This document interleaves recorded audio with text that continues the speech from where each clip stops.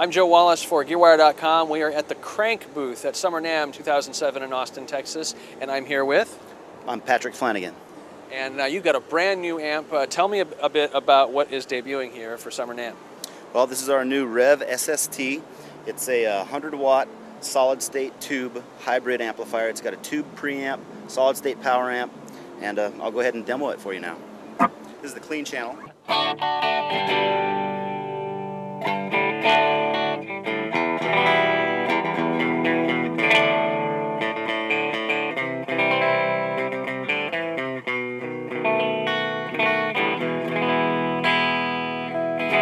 That's the clean channel there.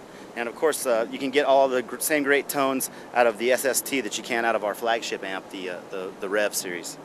And here's the dirty channel.